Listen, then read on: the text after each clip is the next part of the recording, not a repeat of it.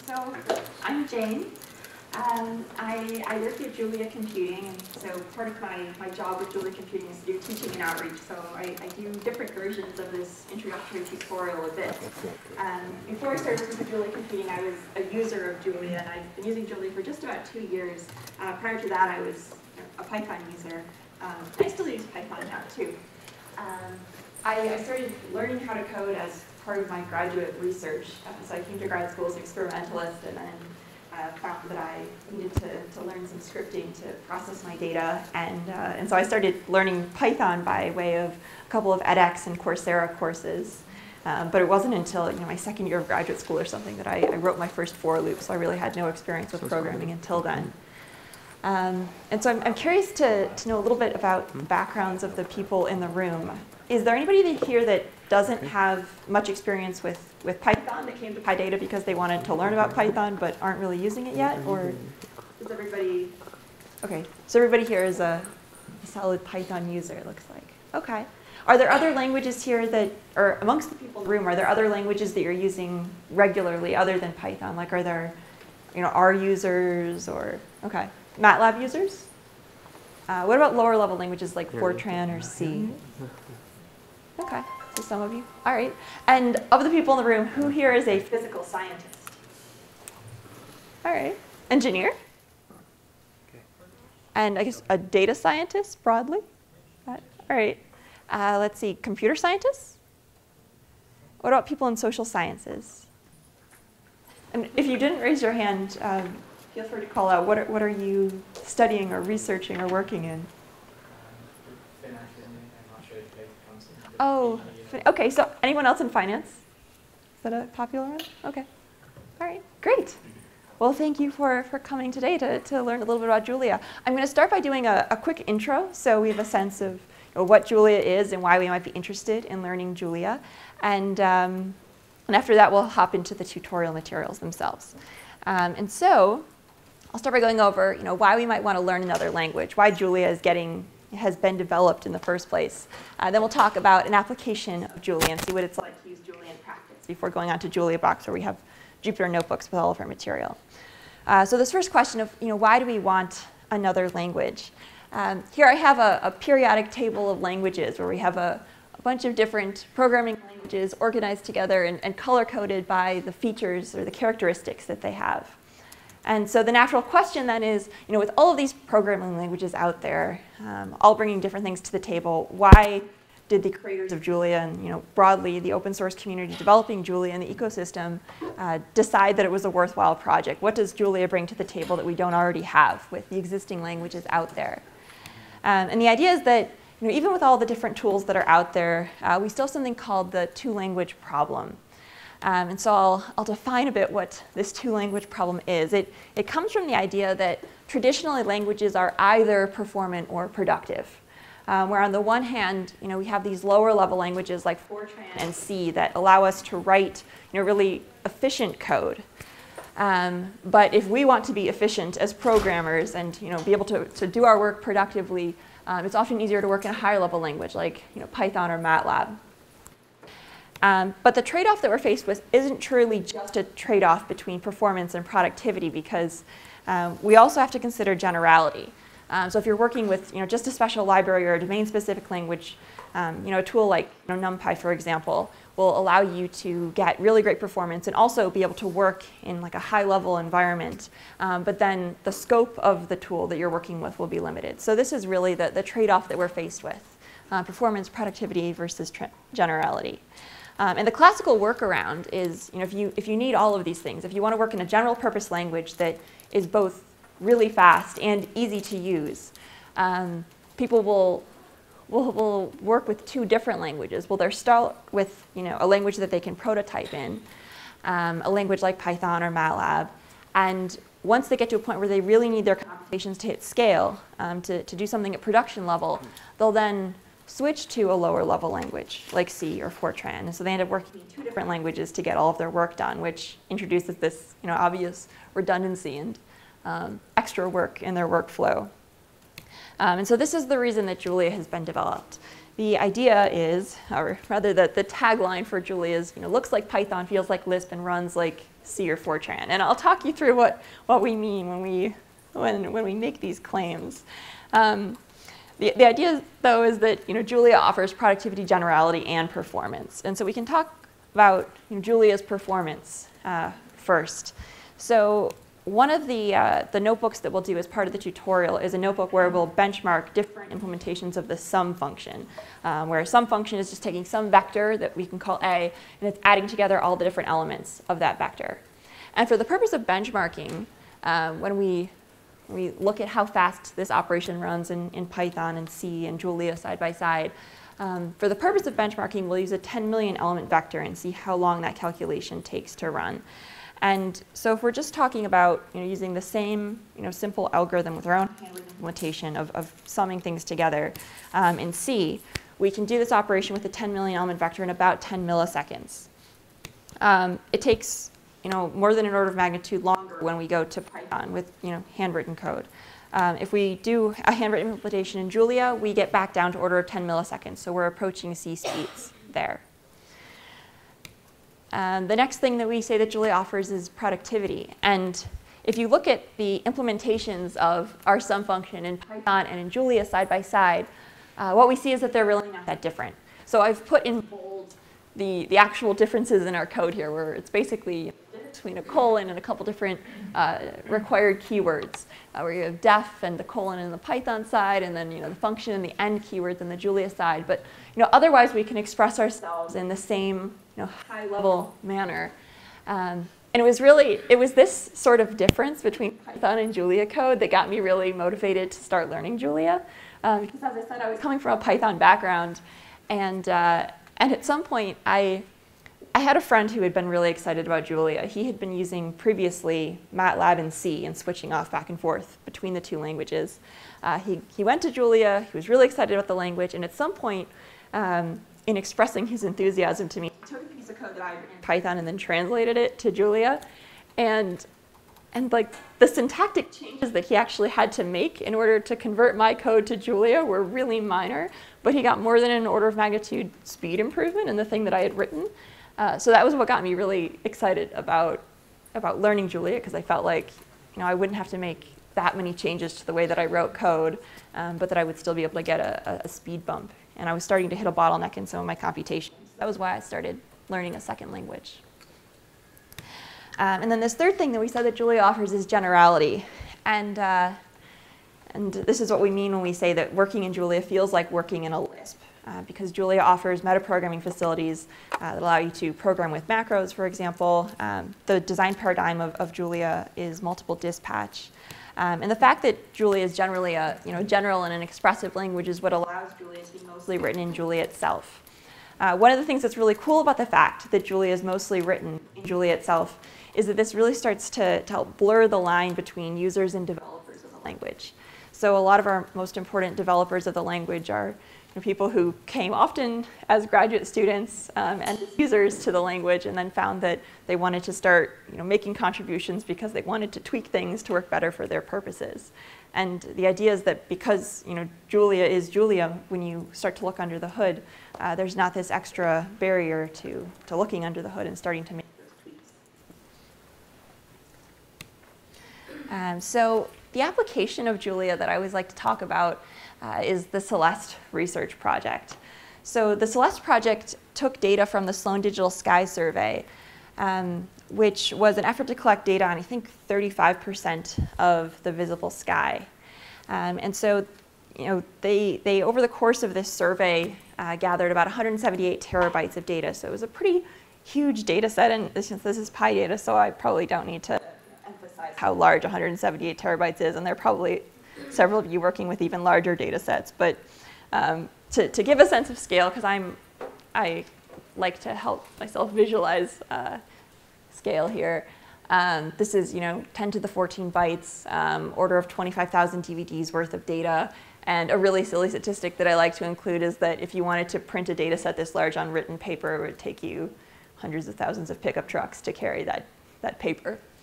Uh, but the point is there was this big data set lying around. In the first you know, 10 or so years that it was in existence, there wasn't a whole lot done with it or it wasn't treated systematically. Um, but then this team of researchers came together uh, to form the Celeste research team. And what they did was that they cataloged 188 million stars and galaxies from this database. And they did that using Julia to write all of their software, and then NERSC supercomputers up at Lawrence Berkeley National Lab in the Bay Area to, to run all of their Julia code. Um, now, the thing that's, that's cool about this, besides the fact that you know, they were able to do a project of this scale and doing this huge cataloging, is that the entire calculation that generated this catalog took under 15 minutes. Um, again, this was you know, using, using huge machines up at, at NERSC, um, where they were able to break the petaflop barrier. So this made Julia the third language to join the petaflop club after C and Fortran. And, uh, and to do this whole calculation, they used over a million threads and over 9,000 nodes. So it gives us a sense of Julia's ability to, to distribute. Um, so, so the next question then is like, why was Julia important on the Celeste project? And you know, what would the Celeste project have looked like if you know, some other tool or set of tools had been used? Um, and maybe the, the first natural answer to that question is like, well, if, if Julia hadn't been the language of choice, then maybe there would have been two different languages used and there would have needed to be some, you know, trade-off between you know, working in Python and then you know, moving, moving to C. Um, and that's true um, that you know, there was this sort of natural, there would have otherwise been some sort of natural you know, um, inefficiency, I guess, in needing to, to recode things from, from Python to C, for example. Um, but really the impact, I think, of using Julia in this project was more profound than that because what it did was that in bringing together this huge team of researchers uh, who came from very different backgrounds, some were you know, physical scientists and others were statisticians and others were computer scientists, uh, it allowed everybody to work in the same code base from the beginning. So the way that the two-language problem often looks when you're working in uh, an environment with you know, people from various backgrounds is that you know, the, the physical scientists will be the ones, or you know, generally the domain experts will be the ones to do that first prototyping in a high level language. And it's normally only when they're done that they'll then pass the baton off to the computer scientist or HPC specialists who will you know, do that translation to lower level code. And so instead, the fact that everybody was working in the same code base from the beginning meant that you know, the team was able to iterate more rapidly and really work together as you know, both the the science and the implementation of the science evolve together. So with that, um, these are just some, some examples of uh, places where Julia is getting used in, in industry outside. Uh, Celeste was largely an academic project, though there were some uh, companies involved. Um, but it's being used both in academia and industry, and we're seeing you know, uptake of the language, especially after the 1.0 release a couple months ago at the end of the summer. And after this tutorial, if you're interested in joining any of our, our online communities, we'd be happy to have you. There are lots of friendly people there, happy to answer questions. And, and I can put this slide up later too, or, or give you these links. Um, my email there is at the bottom. Um, and yeah, both, both Slack and Discourse are great places to ask general questions. And of course, GitHub if you have you know, issues to file. Um, all different places where you can get involved. Uh, so now we can jump into the tutorial. Um, if you want to run along on JuliaBox, uh, you can log in here. Uh, I'm not sure, if, have people tried logging in yet to JuliaBox to see if, okay, all right, cool. Um, yeah, so with email, GitHub, Google, or LinkedIn, you'll be able to get in there. Now, once you're on JuliaBox, uh, once you're on JuliaBox, you'll see a tutorials uh, subdirectory. Let me see if I can pull that up quickly. Um,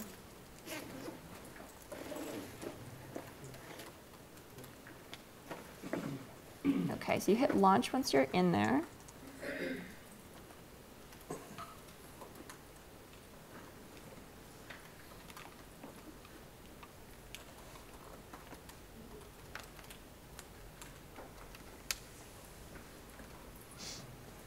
So I'm going to be working on a, a, local copy for mine, but uh, once you're on JuliaBox, uh, you should be able to go into tutorials and then introductory materials. And then inside introductory materials is Intro to Julia, which is where I'll be working.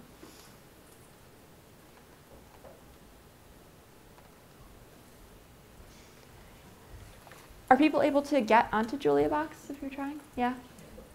Is anybody having any issues? No? Okay.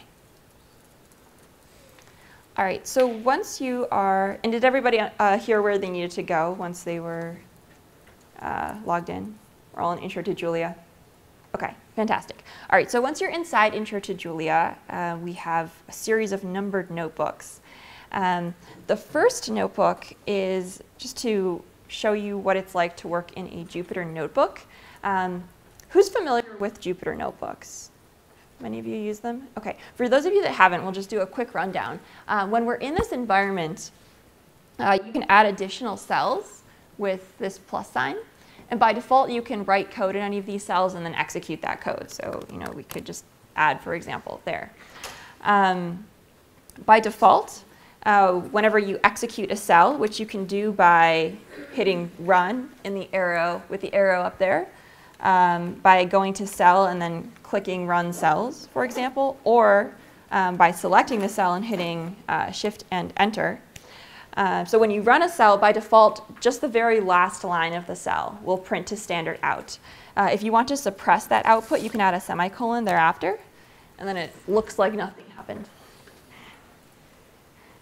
Um, and then a couple like Julia environment specific things, both when we're in a Jupyter notebook like this and when we're at the REPL, if we precede any function call um, with a question mark, we're actually entering the, the help mode that allows us to pull up documentation. So whenever you see a function that you're not familiar with, you can just put a question mark before it, um, and then you'll get the docs. And also you can enter shell mode from both a Julia REPL or um, a Jupyter notebook if you're working in a, a Julia kernel. Um, and you can do that by putting a semicolon before any shell commands. So if we say semicolon ls, we can see, for example, um, all of the, the documents that are stored in my current folder.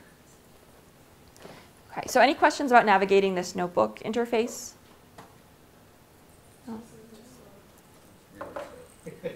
Julia box is slow? Yeah, okay. It, they might be pulling up more nodes. That's sometimes an issue when a couple people sign on at um, but is it really slow, like loading and open a new Yeah, notebook? Or? navigating the tree, the folder tree to get to the tutorials. And- Yeah. Oh, I'm- I'm waiting for it to think that. Oh, okay. All right. Well, once it opens, uh, you'll see, yeah, it, okay, now maybe a little bit more. And once you have a notebook open, does it run easily through the notebook, or is that also slow? Uh, that seems to be okay, but I- I've only opened the, the Jupyter notebooks. Okay. All right. Um, well, I hope it picks up, and if it doesn't, um, if you, yeah, I'll, I'll, I'll demo insofar as I need to, I suppose. Um, okay. Uh, so the first, er, the notebooks one through six are really meant to be sort of a, a whirlwind tour of Julia syntax. Um, and a lot of it, I think, will look pretty familiar um, if you're you know, coming from a Python background. Um, and then after that, uh, we have some notebooks on you know, showing you how to pull in packages from the Julia ecosystem and uh, a, a, speed demo or a benchmarking demo, um, as well as we can talk about linear algebra at the end and the design paradigm if those are of interest, uh, depending on how much time we have. I think we can go pretty quickly through a lot of the syntax um, since it should look familiar, but we'll see, we'll see how it goes. Um, so notebook one, getting started. The purpose of this notebook is just to show you how to, uh, how to print in Julia, how to assign variables, how to comment, and what our syntax for basic math looks like. Um, so first off, if you want to print, um, we like to use this println function, um, which is going to add a, an extra line um, whenever you print. Um, so print line. Uh, and you can throw, you know, for example, strings or, or other variable types inside that function call. Um, when we assign variables in Julia, uh, Julia is dynamic, and so we, we don't need to um, declare you know, the types, um, for example, of our, our variables up front. So I can just say my answer equals 42, and then when I ask Julia with this function type of, um, what the type of that uh, variable is, Julia can tell that's an int64. Similarly, we can see that my pi is a float 64, and this emoji smiley cat uh, that I assigned to the string smiley cat is a string. Um, and if you, if you want to actually create your own emojis or you'll pull up your own emojis, uh, you can use this tab completion where you'll put a backslash and then a colon and then hit tab and be able to select the emoji from there. Um, so SMI should start to trigger the uh, smiley cat. So if you wanted to actually say, hey, I want this particular variable to be in, in int64, can you go ahead and define that, and then it'll actually check if you do a proper typecast? Um, yeah, you can, and one thing that we'll show at the end of this, for example, like if I, let's just, well, one thing I could do, if I said convert, for example, uh, if I if I started with something that was, for example, a I, I, maybe I'm, I'm not sure if the integer that I first declared was an int32 or an int64. Um, I could say something like, and then if I were to interrogate what the type of A is, um, yeah. So I, I can convert different types like that. Well, one, of the things people grab about uh, Python is, is you, can't define the, the types ahead of time, and then at runtime, you'll get issues when it's trying to, when you're assigning improper types. hmm So, I'll dig into it Okay. Other questions so far? Okay. Um, another thing is that, you know, once we've assigned a value to, um, a value of a given type to a variable, we can reassign um, that variable to a different value of a different type without any issue. So smiley cat emoji used to be a string, and here if I assign it to an integer, um, there's no issue. Now smiley cat is an integer. And, um, and also programming with emojis is a good example of Julia being generic in general. So here we have uh, this smiling emoji and sad emoji equal to 0 and negative 1. And now we can create Boolean statements from emojis like this, where smiley cat plus frown face turns us into a happy face. Uh, commenting in Julia, uh, just like in Python, we can leave single line comments with uh, a hashtag or a pound sign. And we can create multi-line comments by uh, sandwiching our comments inside two pound signs and, uh, and two equal signs. And then the syntax for basic math will look pretty familiar. Um, the only real difference uh, coming from Python is that if you want to exponentiate something, you have to use the caret operator rather than a double star. Okay, so that's it for the first notebook. And then our second notebook is on strings uh, in Julian. So we'll talk about how to create a string, uh, how to interpolate strings, and then how to concatenate them. Um, so first off, to create a string, we have two different ways in Julia, um, both using the double quotation signs. We can either use a single set of double quotation signs or um, a triple set of uh, double quotation marks. Um, one of the differences between these two different types of strings is that I can add a bunch of formatting to the second type where we have the three sets. And Julia understands then that, you know, I, I for example, was trying to include these new line characters in my string. Um, another difference is that I can quote inside the second type of string, but not the first. So it's ambiguous where the string actually ends in this first case, but when we have the three sets of double quotation marks defining the beginning and end of the string, we can throw quotation marks inside the string without ambiguity. Um, now, unlike in Python, uh, single quotation marks does not give us a string. Um, so here, the letter A is a char or a character.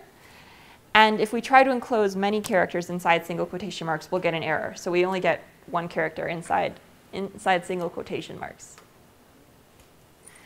Um, now to interpolate strings in Julia, um, here I'll create some variables to interpolate.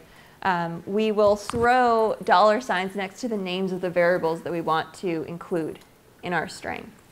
Um, so here I'm throwing the variable name um, by dollar sign name, and here uh, num fingers is preceded by a dollar sign, and num toes is preceded by a dollar sign.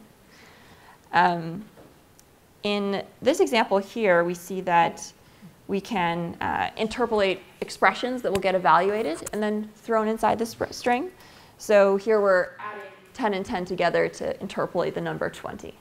So there we just throw parentheses out around the expression that we want to interpolate, and then the dollar sign goes outside that, that pair of parentheses.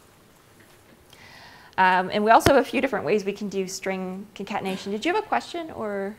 No? Okay, just checking. Um, all right, so string concatenation. So here I have these two uh, short strings, S3 and S4. And then we have the smiley cat emoji assigned to the number 10 there. Um, so if I wanted to concatenate the strings S3 and S4 together, I could use this string function. Um, and string takes arbitrary numbers of inputs, and the inputs don't have to be you know, just other strings. They can be whatever you like, really. Um, so if I call string here on three inputs now, I get a response to my first uh, concatenated string, how many cats is too many cats, which is, I don't know, but 10 is too few.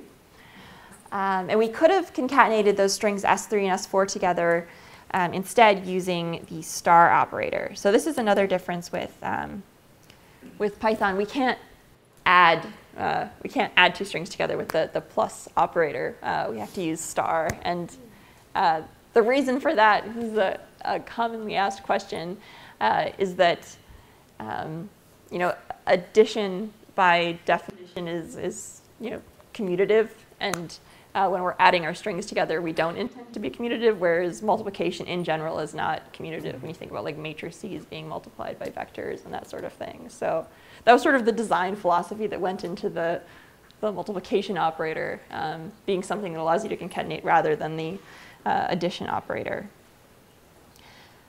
Uh, and when you exponentiate things in Julia, uh, the, the star operator is what's really getting called under the hood. Um, and so because the star operator allows us to concatenate strings, if I were to exponentiate a string, I will get large, or I can get large repetition of the string that way. Are there any questions on the string intro?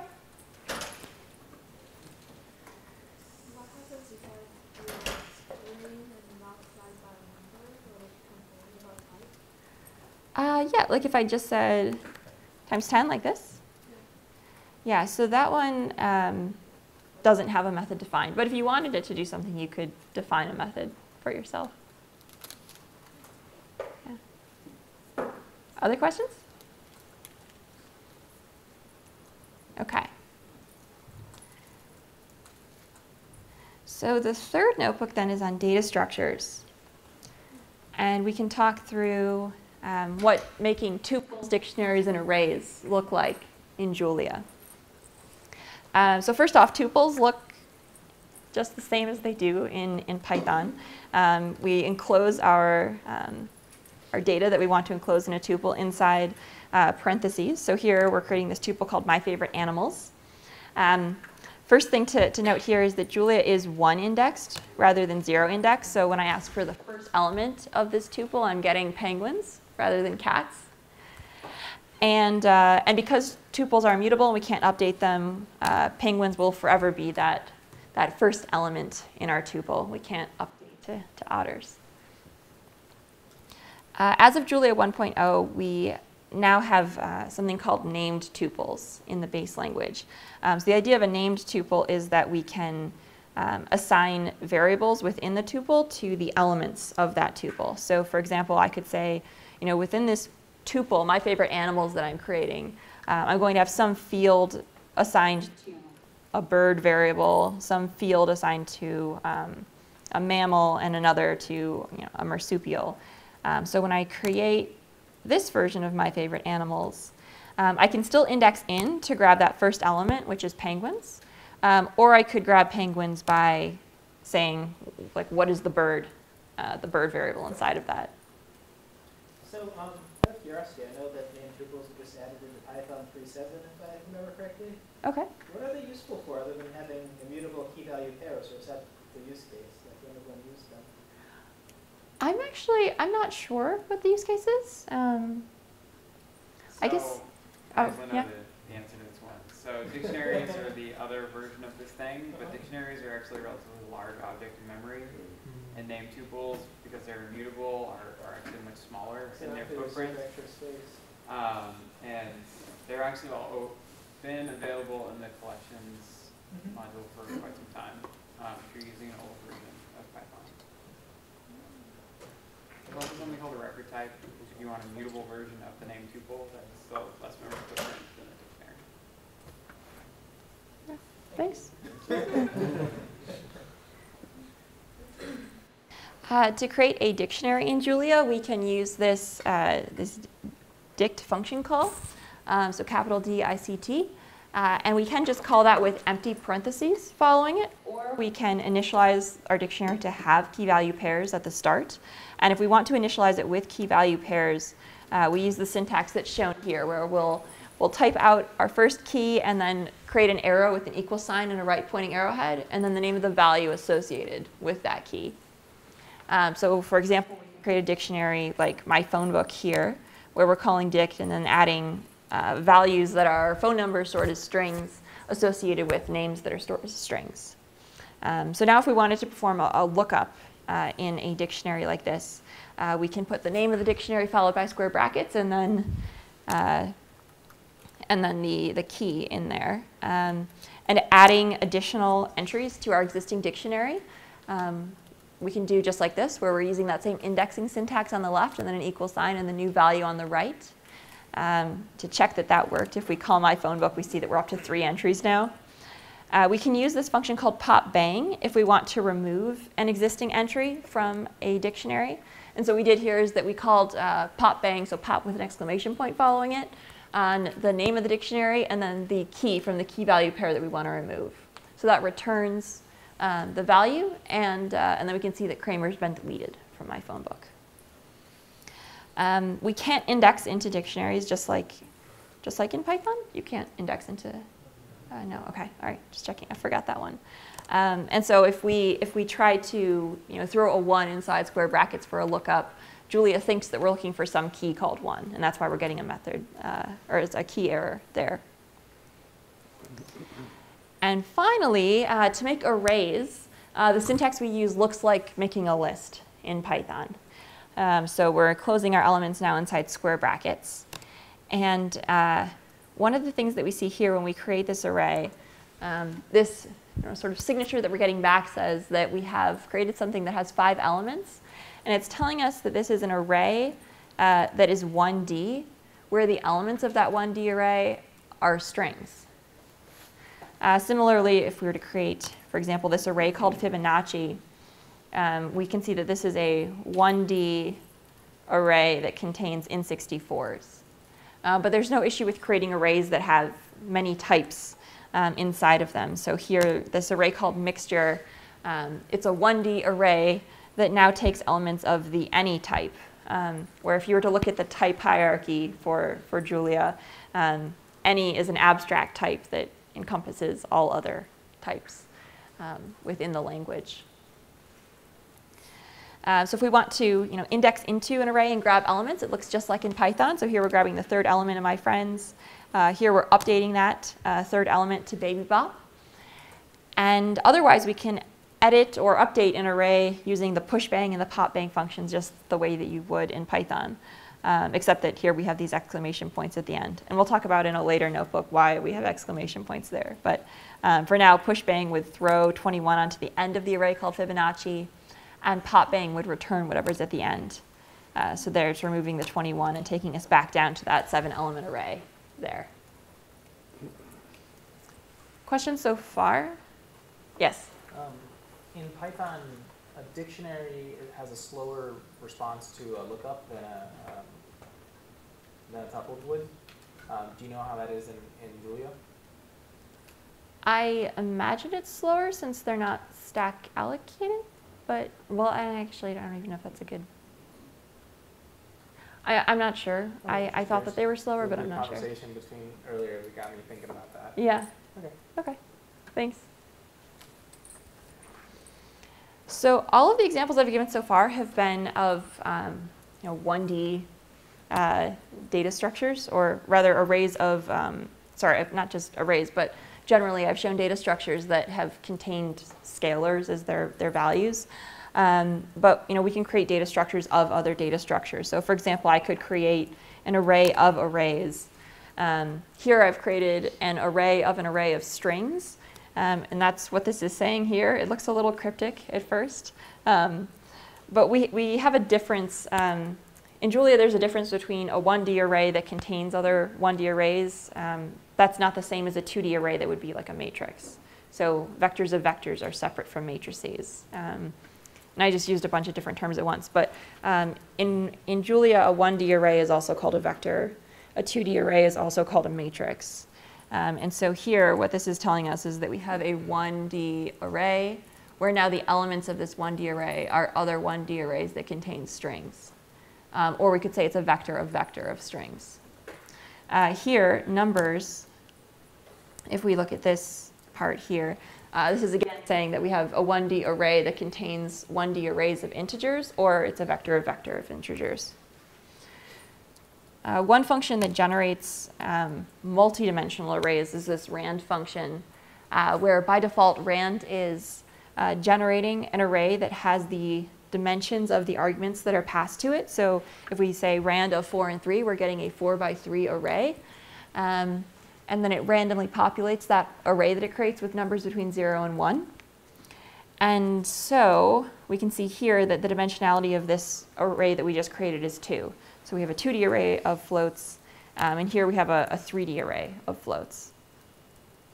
Uh, and the last thing to, to say about arrays here is just to be careful when you're trying to copy them. So, um, you know, if, if you, for example, started with this array called Fibonacci that we've already seen, and then you tried to copy it by simply adding, um, or rather assigning uh, the array some numbers to it, uh, what you'll see is that if you were to, you know, update uh, the array called some numbers by indexing into it and then uh, check out Fibonacci thereafter. Fibonacci has also been updated because all we did was give a second name to an existing data structure.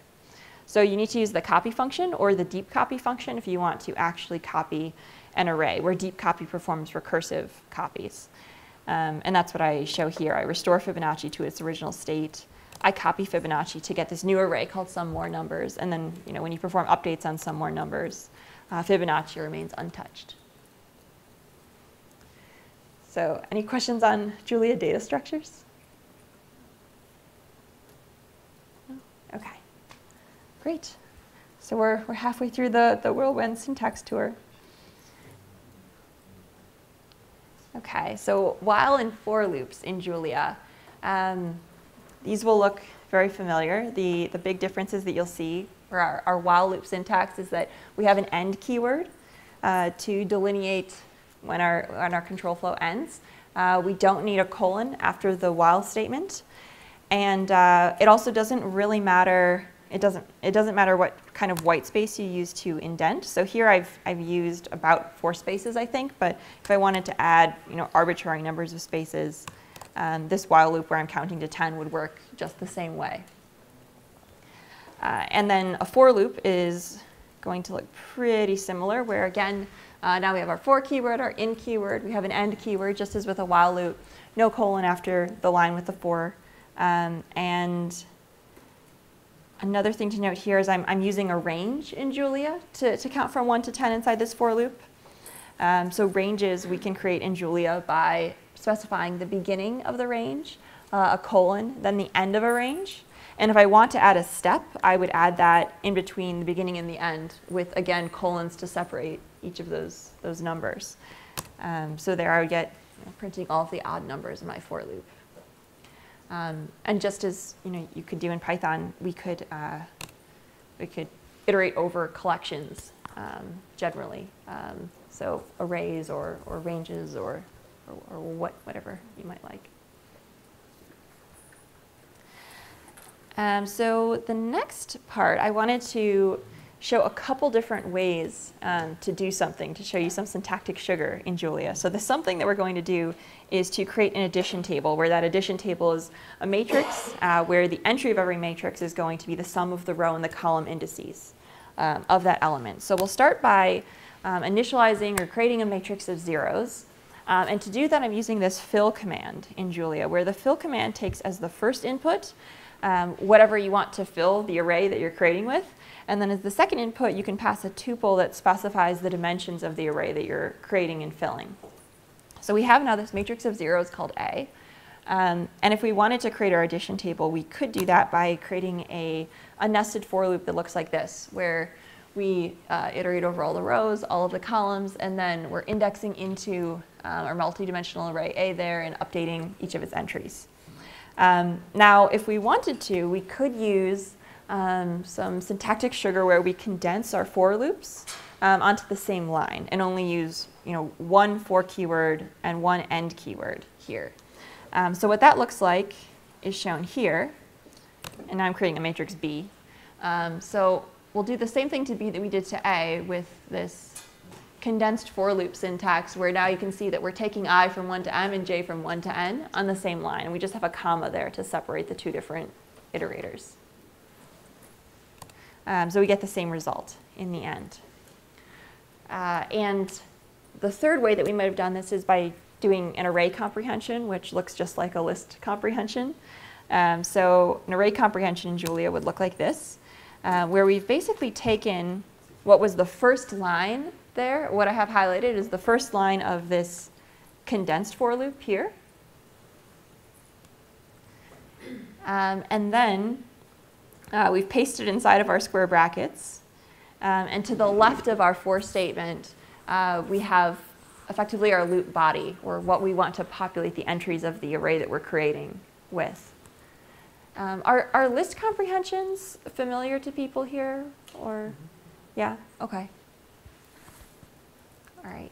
And, and just in case there's anyone that maybe hasn't seen uh, list or array comprehensions before, the idea is that um, in 1D, for example, I could do something like x for x in um, 1 to 10, and then I'm basically looping over all of the, uh, the indices of the array that I want to create. Um, so in 1D, this is what an array comprehension would look like. Does that work for lambdas as well? Guys- I'm sorry, does it work for what? Uh, lambda expressions, does Julia support lambda expressions? It does, yeah. We can, we can declare anonymous functions. Okay, cool. Yeah. Okay. Questions on, on loops so far? No? Okay. All right. Notebook five then uh, is on conditional statements in Julia. Um, so in Julia, we have our, our if and our else keywords. Um, instead of elif, we have else if. And we, we end our uh, conditional statements with an end. Um, so the first example that I have here of actually you know, implementing uh, some sort of conditional is uh, my implementation of the, the FizzBuzz test in Julia. Has anybody heard of FizzBuzz before? Or? Okay, so some of you have. The idea of the FizzBuzz test is that you, know, you might, uh, in going in for a programming interview, be given a question where you, you're given a number or a set of numbers, and uh, if the number is divisible by three, you want to print fizz. If it's divisible by five, uh, you want to print buzz, and if it's divisible by both fizz or by both three and five, uh, then you want to print fizz buzz. Um, and so here I'll I like the number 42, so n is 42. Um, and then what we're doing here is checking for divisibility by both 3 and 5, and I'm doing that with this double ampersand um, to say and. Um, alternatively, I could have just said a single ampersand, but I'll, I'll talk to you about the difference at the end of this notebook. Um, but yeah, a single ampersand will say and. Um, I'm using this double equal sign to check equality, and then we have the modulo operator. And, and otherwise our if, else if, uh, and else and end keywords. So if we do that, we get fizz. Uh, ternary operators are, are, another way to express conditionals in Julia that uh, I had never seen as a, as a Python user, so I think they're kind of cool. Um, the idea is that if you, if you have a conditional statement that is basically if A, B, else C, end, uh, you could rewrite that conditional statement to be A question mark B colon C. Um, and so I'll, I'll, show you now what I mean by that. Um, so we could have, say, say we have two numbers x and y, and I'll assign them to 3 and 4. And if uh, we want to return the larger of the two numbers, we might write a conditional statement like this, where we see if, where we say if x is greater than y, x, else y. Um, and we could rewrite this conditional statement using a ternary operator, um, as I've done right here. So now we have our conditional statement, uh, just copied from up here, and then we throw a question mark after that, and then whatever would normally come uh, if that's true, followed by a colon, and then whatever would come if that's false. And what comes you know, after the colon could be another such ternary operator. and You could sort of string them together and create something kind of horrifying uh, or exciting, depending on your perspective. Uh, the final thing that I wanted to talk about when we're talking about conditional evaluation is uh, short circuit evaluation in Julia.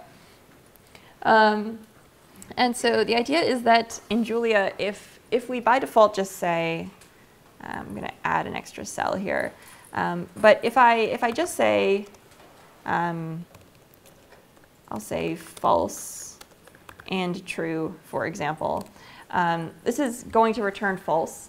Um, but if I've used just a single ampersand to ask if both false and true are true, um, then what will happen is that Julia will eagerly evaluate this expression, or rather Julia will look at this second argument to see if it's true or false, even after it's already hit the false, or even after it's already seen enough to know that the final answer should be, should be false. Um, similarly, if we were, if we were short-circuiting and saying, you know, uh, true or is how, uh, sorry, vertical line is how we say or in Julia. So if I said true or false, um, the answer should be true. Um, and we'll get that, but we're actually going to spend the time looking at false after, after seeing the first true. Um, so if you want to short circuit that process and only look at you know, the minimum amount of information that you need to evaluate an expression, uh, you can short circuit by doubling your ampersand or doubling your, um, your vertical line. And so you'll get the same output in both of these cases, but um, if you get to the point where you know a statement is already going to be true or false, you can just stop checking and evaluating at that point. When wouldn't you want to short circuit it? When would you not want to? Um, for I know for bitwise operations, this is the the default. The default behavior is to not short circuit. Um, yeah. That's I, I and I, I don't really understand honestly. Um, yeah, I don't know much about yeah bitwise operations. Nor do I. So yeah, I'm, I'm not helpful. That's that's the default answer I've, I've always been given, and I've never dug enough to understand. Because this seems like a good thing. It does. Yeah. It's more efficient. Other questions so far? Okay. Um, and just to give you, in case it wasn't um, fully clear, to give you an example of where behavior, we can actually see behavior being different. Um, in these statements, we have um, two short circuiting statements, one with false and uh, print high. Um, and then the second is true and print high. And we only actually get to the point where we print high in the second example. Um, because here we, we terminate our evaluation after we see this first false. So yeah. And similarly here, if we, if we short circuit with or, um, we only actually print the high in the, in the second case where we're still looking for a true a value. Okay. So our last notebook on syntax is notebook six, uh, which is on declaring functions in Julia. So in this notebook, we'll talk about um, how to declare a function. Um, we'll talk about duck typing in Julia, and then uh, mutating versus non-mutating functions, and uh, we'll discuss a couple higher order functions at the end. And I'll define what a higher order function is if that's a, a foreign term. Uh, so first off, declaring a function. There are a few different ways that we can declare a function in Julia. Um, the first is to use the, the function keyword um, and the end keyword to delineate when we're at the end of the function. Um, we put the function name and the function arguments on the same line as the function keyword, just like if we were using def in Python. Um, again, we don't need any colon to, to say on, on the same line as the function keyword. And we can put our function body um, between the function and the end, or the lines with the function and the end keywords. Um, one thing that you'll notice here is that you know, in this function f, for example, where I'm squaring, um, in, in both of them really, I don't have any return statement. Um, Julia by default is going to return whatever is on the last line of the function. And I can choose to explicitly say return if I want to, um, and it, it, won't change anything about the way the function is implemented under the hood. Uh, that's just a, a syntactic choice that I can make as the programmer. Uh, we can call either of those functions just like you would in Python. So here we're, we're greeting C3PO and squaring 42. Um, and now we could have written either of these functions with different syntax using neither the function nor the, the end keyword. If we had just written the function name, uh, the function input arguments, and then follow that with an equal sign followed by the function body on the right. Um, so there's our, our second version of say hi and our second version of f. Um, and calling functions written this way uh, is exactly the same as calling them when they're declared in the first way. And the final way that we might have declared uh, either of these functions is by writing them as anonymous functions. Um, so if you're not familiar with anonymous or lambda functions, um, the idea is that you know, we could have a function that literally has no name. And so, for example, if I, if I declare this, um, I've now declared a lambda function um, where it is uh, taking whatever the input arguments are on the, the leftmost side um, and then sort of mapping them to my function body on the right where we have an arrow to separate the input arguments and the, uh, the function body. Um, but of course, if we define a function in this way without giving it any name, there's no way to access it after we've created it. And so we do have the option, if, if you like this syntax, but you want to be able to reference your function thereafter, you can bind a variable to your anonymous function like this. Um, so here I'm binding the variable f3 to this function that takes x and squares it, um, and then calling either of these anonymous functions uh, looks the same, or we have the same syntax for calling them as we would for functions declared by the either of the two meth other two methods. So if you did F three of pi, going back to your previous example, it seems to get I, I. Yeah, yeah, exactly. Yeah. And that kind of brings us into the, that's actually one of my examples when we're talking about duck typing in Julia, that, uh, you know, previously we were using um, uh, strings as, as inputs to say hi, for example. Um, but because you know we're just doing string interpolation under the hood with the function say hi, we can interpolate a number just as easily as another string. Um, and then the function f, you know, we haven't declared to work on any particular type, but it'll work now for any inputs um, for which it's possible to multiply things together. Um, so if we had a matrix A, for example, and call f on A, we're going to get matrix-matrix multiplication uh, under the hood because that's a, a well-defined operation for the, one of the well-defined methods for the, the, um, the star operator. And then here's my original f on high. Um, however, where, where this won't work, um, where the functions I've declared so far won't work, is where there aren't underlying methods to support the types that I'm passing to that function. So um, for example, if I had a vector um, v, which just here has three elements, um, if I pass uh, v to my function f, which squares things, uh, the reason that we get a method error there is that there is no way to, to square a vector in Julia. There's, there's no associated method with the idea of multiplying a vector by another vector um, because it's, it's not clear what you would want if you, if you asked for that. It's not clear if you want, you know, for example, an inner product or an outer product um, or just element-wise multiplication. Um, and so Julia doesn't take a guess. Julia instead just uh, gives you this message. So earlier, I, I, called a couple functions that had exclamation points at the end. Um, the reason for those exclamation points is to denote whether or not a function is a mutating function. Um, so a mutating function is a function that uh, will alter some of the inputs that you've passed to it. And, uh, and by convention in Julia, when we have a mutating function, we'll follow the name of that function by an exclamation point. Um, but that is just a convention, so you could write a, your own function without you know, thinking about whether it's mutating or, or non-mutating, and, and nobody's forcing you to add the exclamation point. But if you're using on, uh, a function that is uh, coming as part of you know, the base language or you know, part of the broader Julia ecosystem, you can normally trust that uh, well, in the base language, you can certainly trust that uh, if something has an exclamation point, it's mutating, and if it doesn't, it's not. Um, and so an example of, of mutating versus non-mutating behavior um, I'll show here with this sort function. So now we have a new vector v that has the numbers 3, 5, and 2. If we call this sort function on v, we get this sorted vector. Um, but if we look at the vector v itself after calling sort, um, it's, it's unchanged. We didn't actually sort it. If we had instead called sort bang on v, we get that same output of a sorted vector, but now v itself is also the sorted vector. Um, and so examples where I used mutating functions prior to this notebook were when I was calling pop bang and push bang, and I was calling those on arrays that I was editing in place. Either adding an element or taking one away. Questions on that so far? Um, so the idea of a higher order function, for those of you that may not have heard that term before, um, a higher order function is just a function that will take other functions as input arguments.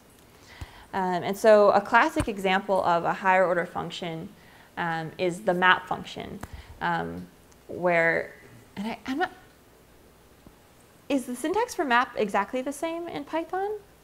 I, uh, maybe I should show the syntax before I ask that. Um, the syntax for, for map in Julia is that the first input to map will be a function, um, and then subsequent input arguments to map will be collections um, over which you will apply that function element-wise. And so if I call map on the function f and then the vector that contains the numbers 1, 2, and 3, the return that I get um, is an array that contains uh, the, the values of that array, 1, 2, and 3, with the function f applied to each of them. Um, so that's what we see here. I'll just, I'm squaring each of the entries in that, in that vector. Um, and so is anybody here familiar with map in Python? Is it exactly the same or, yeah? Okay. Um, and higher order functions is one place where we can actually make use of lambda functions or anonymous functions uh, without binding variables to them to be able to call them afterwards. So if we pass a, a lambda or an anonymous function as the first input to map here, uh, it works just as well as a function that we you know, might have declared outside of the function call um, to map. So there we're just cubing the entries of, of that vector 1, 2, and 3. Um, now another higher order function in, in Julia is the broadcast function, which is sort of a generalization of map. So it, it's able to handle certain use cases that map cannot. Um, for the purpose of this tutorial, we can, we can just treat broadcast for now like it is um, a clone of map with a different name. Um, so if we were to call broadcast on f and then this vector 1, 2, 3, we again are just getting element-wise squaring. Um, but one of the things that's cool about broadcast is that um, we can we can call broadcast under the hood without explicitly saying broadcast by simply adding a dot after any function name um, in a function call. So if I say f dot to the vector 1, 2, 3, we again see that element-wise squaring. And to kind of drive home that point, um, if I had a matrix A, for example, that has the integers 1 to 9 from the upper left to the lower right-hand corner, if I call the function f on A, which is again just our squaring function, I'm going to get the product of the matrix A times the matrix A. Um, but if I call f dot on A, I'm actually broadcasting the square function element-wise over the entries of that, that matrix A.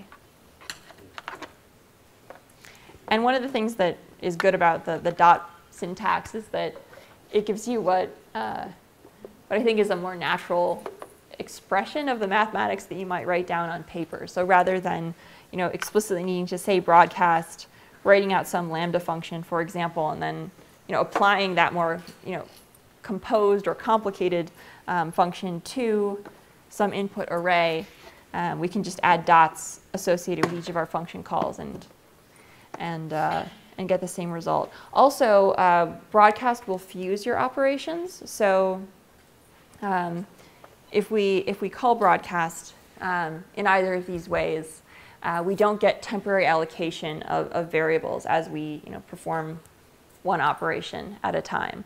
Uh, we don't need to, you know, for example, call f on a and store the result of that somewhere temporarily before we can divide all the elements by, by the entries of a.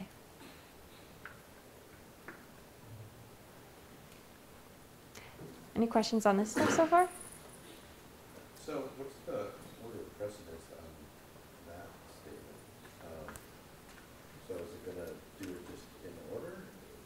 Or is it gonna do the two times?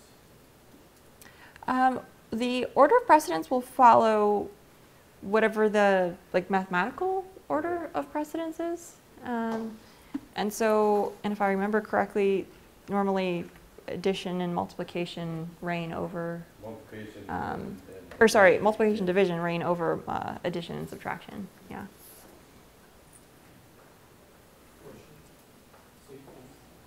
So what does broadcast do that map cannot do? Yeah, um, what broadcast does that map cannot do is that it can work with uh, data structures that don't have the same uh, dimensions. So for example, you could, um, you could add together, with broadcast, you could add together a matrix and uh, a number or a matrix and a vector. Um, say for example that you had a two by two matrix and a two by two vector, you could, yeah, you could add the vector so that it was um, applied like, as if you had added it to each of the rows of the matrix rather than, uh, yeah. So uh, another way to say that is that um, if you add together two objects um, with broadcast, one of which has a singleton dimension, um, the other dimension, it, that singleton dimension is expanded um, to, to match the dimensionality of your other object. Yeah, sorry, thank you. Other questions? Okay, so that was our syntax tour. Um, notebook, notebook 7 is where we just see how to use packages in the Julia ecosystem. And, uh, and 8 is plotting, which we could go through pretty quickly. Um, and I definitely want to get through Notebook 9. So I think uh, getting through 7 through 9 will be really easy with the time we have remaining. And then after that, we can talk about uh, whether you want to see some linear algebra or talk a little bit about the design paradigm. Does that sound good? Yep. Okay, cool. So Notebook 7. All right, um, so the Julia ecosystem is, uh, is quickly growing. We have over 2,000 registered packages now, and one of the, the I guess, design objectives um, since the beginning of Julia has been to really provide first-class interfaces to other languages um, and you know, external packages um, so that you know, if you were coming to Julia as the user of another language like Python or R, um, you wouldn't have to worry about you know, not having access to some of your favorite functionality in that other language as the Julia ecosystem was growing. And so for that reason, we have packages, for example, like you know, PyCall and RCall that will allow you to call any, um, any uh, functions from within like the base Python or, or R languages. Um, also, we'll see in an upcoming notebook that you can, for example, declare and compile code in C um, from within Jupyter Notebook or generally from within a Julia environment. Um, and if you're interested in seeing other you know, available packages that are out there, uh, we have all of our, our packages tracked on pkg.julialang.org as well as juliaobserver.com.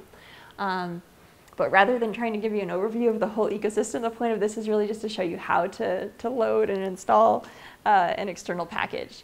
Um, and so how you would do that is that you would start by uh, saying that you're using PKG, where PKG is our package manager.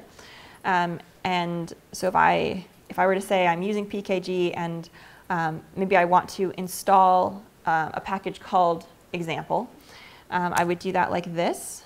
Um, and that should be pretty fast today because I've already installed it previously. Also, example is a very small package. Um, but these are the sorts of notifications you would get as a package installs. Um, if you are on JuliaBox and it's working right now, um, all of our packages are pre-installed so that you wouldn't have to do this. Um, now, when you are working in your own local Julia installation, uh, you only need to install a package once for a given Julia binary, and thereafter you can simply load the package without installing it. And how you would load a package um, is by saying that you're, you're using uh, the example package, for example, um, in your current environment. Um, so now I've loaded example, and the example package uh, has its source code stored on GitHub at this link um, under the uh, example.jl file. And if you were to go to that link, you would see that the source code includes uh, this, this function declaration for hello, which takes a string and then greets the string that you've passed as an input argument. Um, so now that I've, I've run using example, um, I have access to that hello function, and so I can print uh, some Adele lyrics with it, for example. Um, another package that I like to, to demo using is the colors package. And so we don't have to install today, so we don't have to run pkg.add. Um, all we have to do is say that we're using colors. Um, and once we've, we've started using the colors package, uh, we have access to this function called distinguishable colors, which will give us as many, um, as many distinguishable colors as we ask for. So here we're getting a palette of 100 different colors. Uh, one thing that's kind of fun to do with this palette is that, um, here I'll add some extra cells. So we've seen this rand command before, uh, where the rand command, uh, if I pass it the numbers three and three, I'm going to get this randomly populated three by three matrix that has floating point numbers. Um, Now, if I want to randomly populate a matrix with elements of other collections, I can specify a collection as the first input argument. So I could say, for example, populate my 3 by 3 matrix with some number from the range 1 to 10, and now I'm getting a matrix of integers. Um, now, if I wanted to pass any type of collection, this will still work. So if I, if I pass the palette as my input collection, I get a randomly checkered matrix. Um, and I just like this example because I can keep running it and I always get something different. It's very visual. You get to see the randomness better. So that's it for packages. Um, I have this notebook on plotting next. So you said for Python, you could stand, uh, you could call any, anything as part of the standard distribution, what if it's part of something in that, uh, pandas as an example? Yeah, um, I know that often individual packages from other ecosystems will get wrapped separately, so then there will be other Julia packages. Um, rather than using PyCall to call a Python function, you could um, call, I'm trying to think of an example. Like we have, uh, I'll use in, in uh, an upcoming notebook, um, there's a conda package that allows you to call NumPy, for example. Um, I don't, I don't know what the exact coverage of the Python ecosystem is within wrapping, but yeah. Um, so I, I'm not sure, for example, if you can call pandas. I'd be kind of surprised if you couldn't, but, but I'm not There- certain. I there haven't looked a at it. pandas.jl. There is, okay. So then you use that, then to invoke anything from pandas, you're not, you're not doing Python. Right, yeah, PyCall was just an example of a way that you would interface with, with a Python, yeah, function. Okay. Um, so I'm going to rerun this notebook. I'll run the whole thing at once.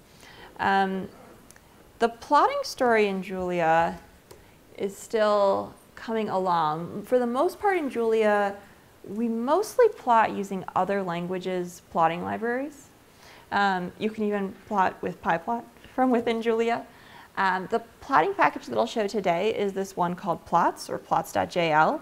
Um, and what's cool about plots is that it gives you one common set of syntax from which you can call multiple different backends, like PyPlot or Unicode plots or GR or Plotly.js. Um, and so thereby you can, you can write some code to generate a plot, and then thereafter you can decide you want to use some other backend, and you only have to change one line of code. You don't have to switch out syntax. Um, and so to demo that, what we'll be plotting today um, is this data that I data thieved offline, um, where we have uh, global temperatures for several years between the 1860s and the year 2000. Um, global temperatures in, in degrees Celsius, um, and then the numbers of, of pirates in the world uh, at the corresponding years in the next array. Um, and then I'm calling here the GR backend. Um, you would have to go to the plots.jl documentation to see which backends are supported. Um, but here I'm calling the GR backend so we can start plotting with GR. And zoom out a little. So I can start creating a plot of my, uh, my temperatures and my pirate populations using this plot command up here, uh, where we have you know, my, my independent and my possibly dependent data. Um, no, here, um, yeah, whatever's on the, the horizontal and the vertical axes. Um, so we have this call to plot uh, first, and then a call to scatter bang. And the reason that there's an exclamation point there following, following the call to scatter um, is that this is actually a mutating call where we're going to be mutating the plot that we create with the plot call so that we can create an overlay. Um, what you would see is that if we instead were to delete this exclamation point um, and run the code, we would get two separate plots, uh, one with a, a, line plot and one with a scatter plot. Um, so this is our overlay. Uh, one of the first things that we can do is annotate our plot with these other mutating functions, x label bang, y label bang, and title bang, which are giving us our, our axes labels and our title. Um, and here I, I just like correlation versus causation jokes. Um, so this is our, our pirate populations on, on global warming effect.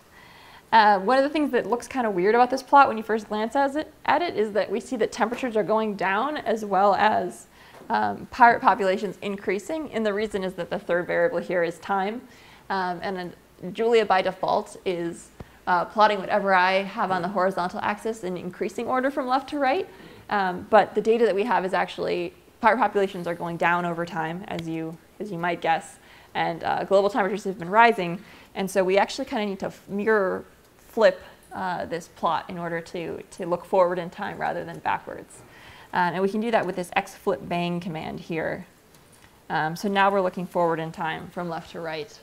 Uh, and we can see that we, we might do better with more pirates. Uh, now, if you wanted to use a, a different backend, uh, we could call pyplot, for example, and then with the same code just copied and pasted, um, we get a very similar looking plot. Um, earlier, we can also, if I uncomment this, there's this other backend called Unicode plots, which gives you a pretty different interface, but it looks like the, um, oh, I think I need to zoom out there. Yeah, so that's what Unicode plots would look like. Um, I think it's more fun at the at the REPL to, or the terminal rather to, to use Unicode plots. Um, but it looked I, I realized this earlier. It looks like xflip bang doesn't work in Unicode plots for some reason. So um, yeah.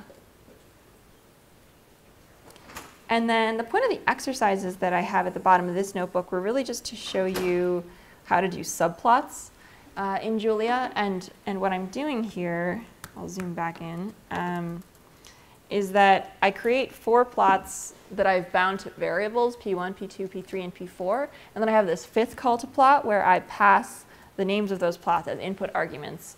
Um, and then I use this layout keyword to specify my layout and, and I could change that to, in this case, a 4 by 1 or 1 by 4 or what have you. Questions on plotting? Nope. Okay. All right.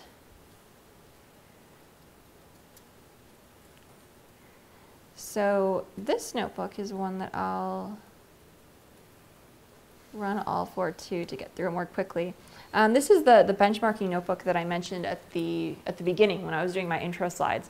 And so the idea is that we're going to look at different implementations of, again, this sum function uh, that adds together all the elements of a vector.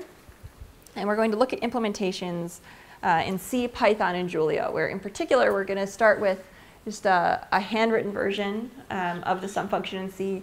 Then we'll optimize a little by using the, the dash fast math flag.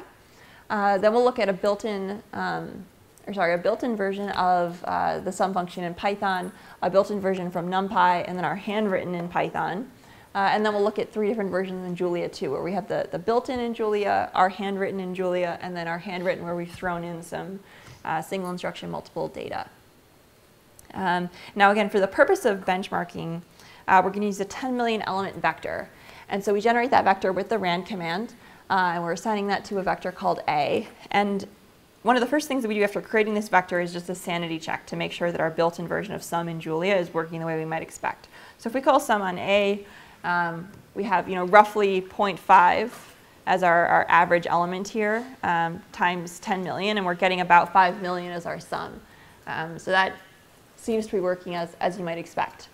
Um, now for the purpose of benchmarking in Julia, um, we could use this at time macro if we wanted to, where at time is just going to return uh, the time that it takes to run the, the piece of code that, that follows it. Um, so one of the issues with the at time macro is that it's not, um, it doesn't give you super precise results because there might be other things going on in your system and you just have you know, one sampling point for how, how fast something is. Um, so here we can see some, sum wide variation in how long some takes to run uh, when we call at time uh, on, on, different occasions. Um, and so a better way to benchmark rather than using this at time macro is to use functions from within this benchmark tools package. Um, and so what benchmark tools does um, is that it will run many samples of a given, uh, or it'll, it'll run the piece of code that you're trying to time um, many times and it will gather as many, as many samples or as many statistics as it needs um, before um, sort of converges on, on some average. I'm not sure exactly what the heuristics for that are, um, but you'll see when you run benchmark tools that the number of samples it takes will, will change every time with, with different pieces of code that you run it on. Um, and so I'll demo that first on our, um, our, our handwritten C implementation of sum. Um, so in this block of code, and I didn't, I didn't draft this initial notebook, I know very little C. Um, but we have our, our C code here enclosed within a string. Um, and then down here is where we're actually compiling uh, our C code and ultimately declaring within our, um, our Julia scope this function called csum that's going to be calling C code under the hood. And here you can see that we're using thisccall um, command to, to grab the C function that we actually generated when we compiled in this line. So there's a little bit of black magic going on in, in this call, or in this function um, block. But, uh, but yeah, if we call csum here, we get about 5 million. More precisely, if we want to check that the output of csum is about the same of what we would get from the Julia built-in sum, um, we can use this, this set of curly equal signs, which under the hood is calling um, the is approximate or is approx function, um, which tells you if two numbers are the same within some tolerance. Um, also, we could, you know, if we take the difference, we can see that there's a very small difference between the two outputs. Um, so the idea is that every time we, we look at a different implementation, we'll do some sanity checks, and then we'll actually do the benchmarking. So when we benchmark uh, this implementation of csum here with the at benchmark command, uh, we get some, some different you know, um, statistics on the speed. So we see uh, that there were 432 samples taken when we ran this, and that uh, the minimum runtime is reported as well as the maximum runtime, and then two average runtimes, the median and the mean. Um, we also get to see what sort of memory was used, which isn't super interesting here, but might be more interesting if you're benchmarking something else. Um, so here, our minimum runtime is about 11.4 milliseconds. Um, and so we're going to grab that minimum of, of our output times here and add it to this dictionary called D that we're creating in the line above what I've highlighted there um, so that we can keep track of how well each of the implementations do as we go. Um, and one final thing in this section is that we, uh, we have a plot here of um, a histogram of, of, of the runtimes um, for, for the C implementations of, of sum, uh, just so you can get a sense of, you know, why it takes so many samples or you know, what kind of variance you might expect to see um, in, in running a piece of code. So here we have you know, calls taking anywhere from you know, maybe 11.35 to 11.66 or something milliseconds. Um, okay, so, so now if we were to add the, the fast math flag um, to our C compilation, um, we, we can declare a new function within our scope called csum fast math. And if we benchmark that as we did above, we see that we went down from just over 11 milliseconds to just over 4 milliseconds. So that was a, a pretty huge optimization. Um, and then we can add this best case runtime here, again, to this output dictionary D. Uh, so after looking at our two C implementations, one that's unoptimized and one that is a bit optimized, uh, we can move to the, the built-in version of sum in Python, uh, which we can bring in uh, to our scope using the, the pycall package, um, which gives us this function py built in. Um, now if I call pysum, we can see that our sanity checks are working. And if we benchmark pysum here, it's taking uh, over 700 milliseconds to, to do that addition.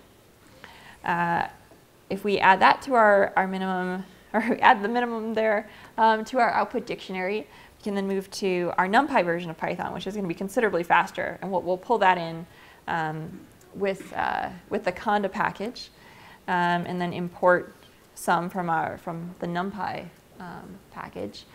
And if we benchmark our NumPy version of sum here, we're, we're down to you know, order of four milliseconds. Um, and yeah, the uh, benchmark tools is fantastic, and it, it really, you know, uh, decreases the error bars on, on your measurements. But um, but I, I, would say that you know so far the performance of the the C with fast math that we saw and you know NumPy are essentially the same. Like the I guess the, the digits after the decimal place um, will will change considerably um, from from run to run, even when you're using something that takes an average like benchmark tools. Um, so we don't have enough information now to say if, if you know NumPy or, or the optimized C is, is doing better at this point. Um, but in any case, we'll add this NumPy version to our output dictionary, and then we can move on to our handwritten Python, um, where we now have our, our Python function declared within, again, a, a string that's now preceded by that py keyword. Um, and we're calling that SumPy within our current scope, which we can benchmark here. And we're up to like um, about 900 or 950 milliseconds. Um, so then we can go to Julia. And in Julia, we'll start by looking at the, the built-in version um, of sum within Julia. And this at which macro would tell us where we can actually find the source code um, for, for the sum function. So it's going to be stored in this file, reducedim.jl, uh, at line 645. And if you were to go there, you would see that the, uh, the built-in version of sum within Julia is actually written in Julia itself. It's not implemented in a lower level language like C. Um, and if we benchmark the built-in version um, of sum, we're going to get to here about 4.6, 4.7 milliseconds. Uh, so if we add that to our output dictionary, we've got just two left. Uh, one is the, the handwritten uh, of Julia, which again looks really similar to the, you know, our Python implementation of sum. If we benchmark that, we're at about 11.4 milliseconds.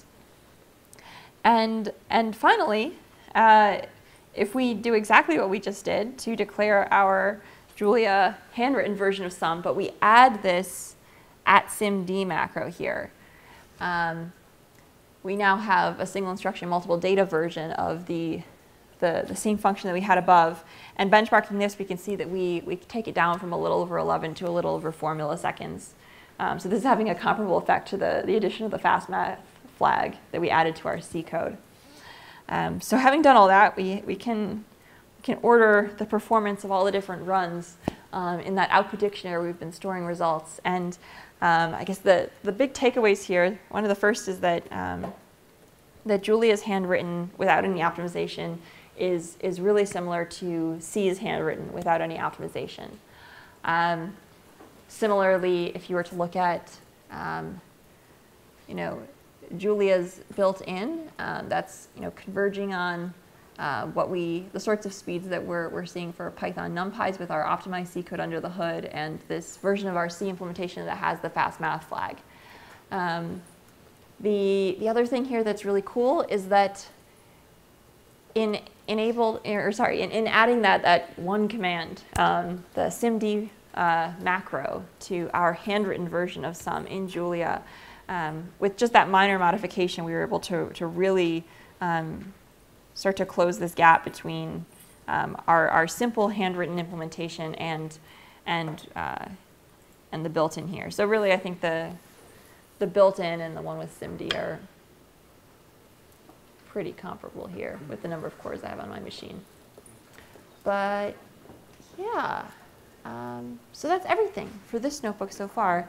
Um, and we have I have about five minutes. Um, are people more interested in seeing some of the linear algebra stuff in the next five minutes or talking about multiple dispatch?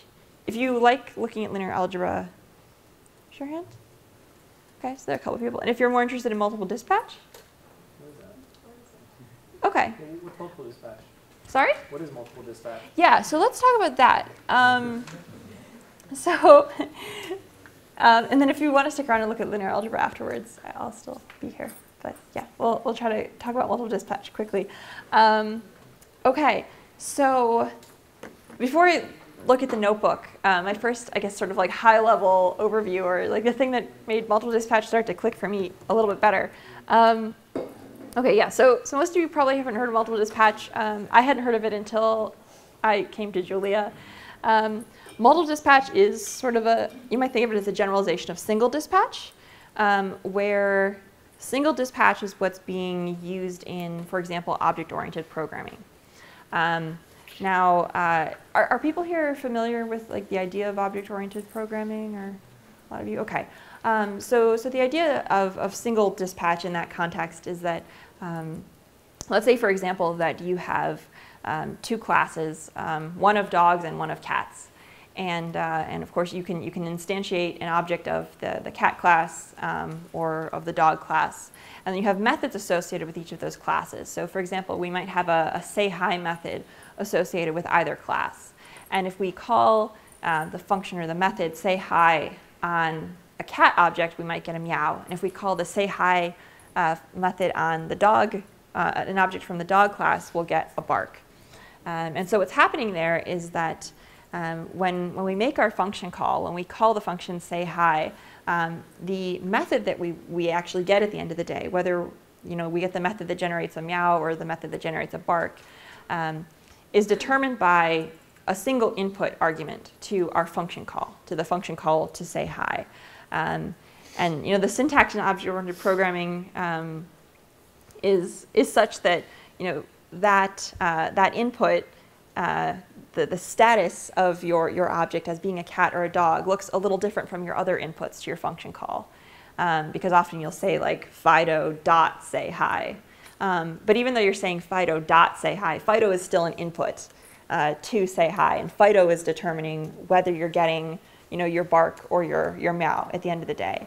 And so that single dispatch in the sense that, again, there's just a single input argument that's determining which method you get. And so multiple dispatch is a generalization of single dispatch where now instead every single input to your function is going to determine which function uh, or which method associated with that function actually gets dispatched at the end of the day. Um, so I'll talk about that a little bit more. Did you have a question? Is that like polymorphism?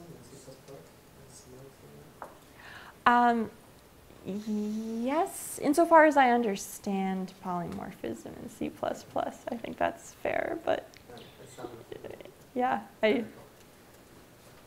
you, you might want to fact check me. You're very welcome to fact check all of the things that I say. Um, but okay, so let's let's talk through some examples of multiple dispatch so I can start to show you what I mean. Um, and, and multiple dispatch is really um, a lot of people think that Julia is fast because it's just in time compiled instead of interpreted, but but really it's the design paradigm that's making Julia um, fast. And so yeah, so we'll, we'll talk we'll talk through this a bit more. Um, so starting with some things that we've already seen. We've already seen that we can declare a function, for example, a function f that squares things, and we don't have to say, you know, what the function works on. And it will just sort of magically work on things like strings and matrices and numbers, um, but it doesn't work on things like vectors. Um, and again, the, the reason is that, um, you know, we have underlying methods um, associated with, you know, numbers and matrices and strings um, that tell us how we would use the star operator and thereby the exponentiation operator on those, those data types um, under the hood. And those methods that already exist get called um, when we call f. Um, but we don't have any method that tells us what to do when we try to exponentiate something that's a vector. And so we get that failure there. Um, now, alternatively, rather than writing a function in, in sort of a generic way and letting Julia you know, figure out when the function works and when it doesn't work on its own. Um, we could declare functions in a way where we, we specify when we want the function to work um, and where. Um, so for example, we could declare a function called foo. Um, so here, here, this is a, declaration for the function foo that takes two inputs x and y. And then I've annotated the inputs x and y with a double colon sign and then the type that I want x and y to be. So I'm saying that x has to be a string and y has to be a string. And, uh, and when I pass strings x and y to foo, I want the printout um, to be my inputs x and y are both strings. And so if I call this function foo that I just declared on the strings hello and hi, I get that printout that I you know, might be expecting. Um, and now if I were to call foo on the integers 3 and 4, um, I get a method error because I didn't declare any function called foo that will take inputs that are, that are both integers. Um, so if I wanted to change that, say, say I want to add a method um, that works on integers 3 and 4, I can now declare foo where I annotate x and y as being both integers here. So I'm saying x double colon int, y double colon int. And now when I pass two integers to foo, uh, I want the printout to say my inputs x and y are both integers. And so I declare that by running this cell. Um, if I call three, uh, foo on 3 and 4, I'm getting that input now that says x and y are both integers.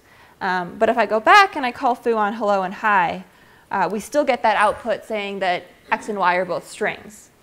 And the reason is that when I declared foo here, I didn't overwrite my first definition of foo. I didn't replace it with this new definition. Um, I was able to just add an extra definition to, to a function that I had already written. and I can add you know, as many different definitions for one function name as there are possible combinations um, of you know, possibly infinite input arguments to, to a function.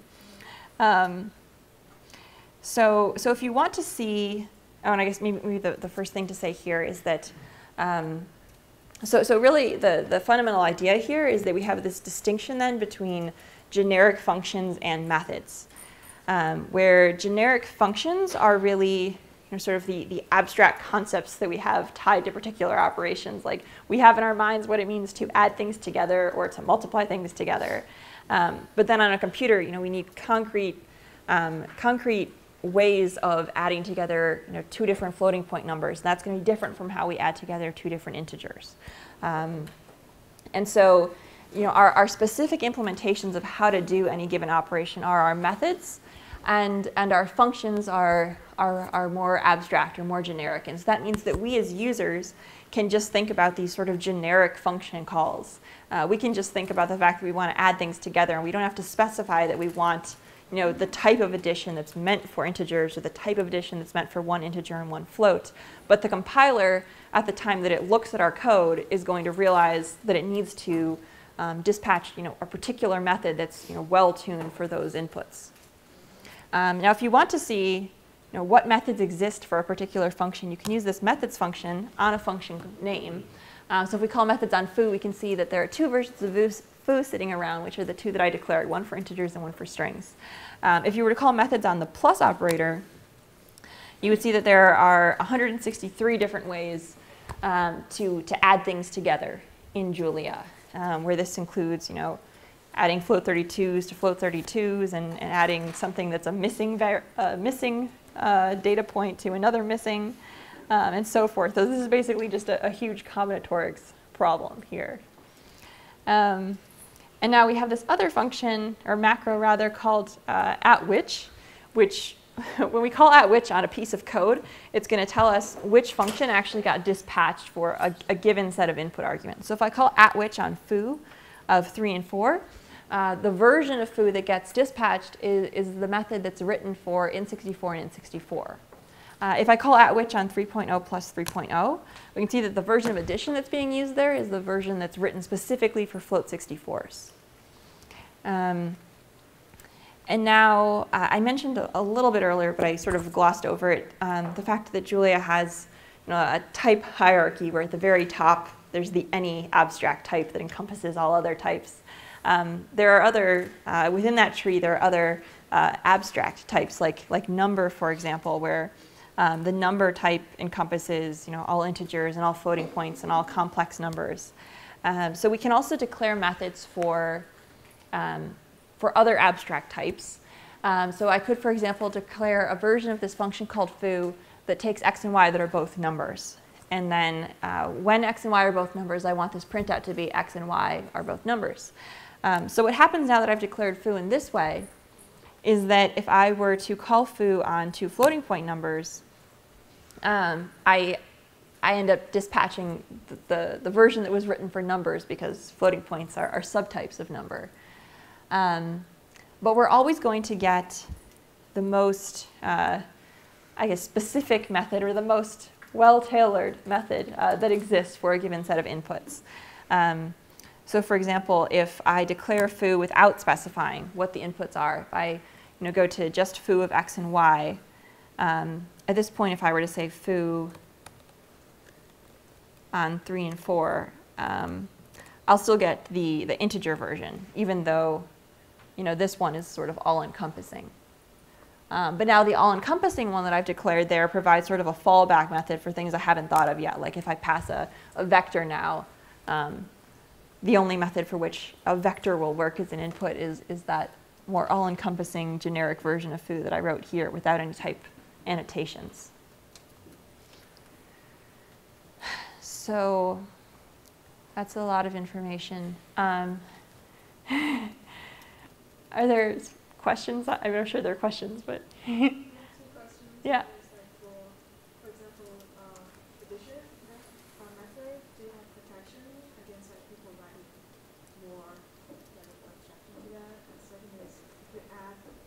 accidentally add one like wrong like mapping and Um, there's not a way to delete a method once you've added it. You can easily overwrite it. And if you, if for example, if you accidentally overwrote addition, uh, which you, you could do, um, then you would just have to restart your REPL or your notebook that you were working in, um, and then you would have a clean slate after that. Um, but yeah. Yes. At some point you had a curly equal sign, how do you type that? Yeah. Uh, that uh, should be. I'm really bad at tab completion. I like don't hold the keys the right amount. I think you should do slash and then colon, um, and then if you start to write approx, and then I swear other people do this and it works. Um, tab, tab, tab. You should be able to just hit tab and then it should give you the curly braces. I can't, I've, I've failed at this in, in live demos so many times. And then often there's someone else that knows Julia from the audience that will come up and like do the tab completion for me and they give me the instructions and I'm like, that's what I was doing. But so yes, I'm sorry. Um, that's how it works. Sorry? No colon? Does it work without the colon? Oh, okay. So, uh, th- yep, that's that's why I broke it this time. Find a way to break it every time. Thank you. There's the curly braces, and I wonder. I want to see now if I do smile. Oh, I wanted to do smiley cat, and I got just a smile. But yeah. Anyways, that's how you tap complete.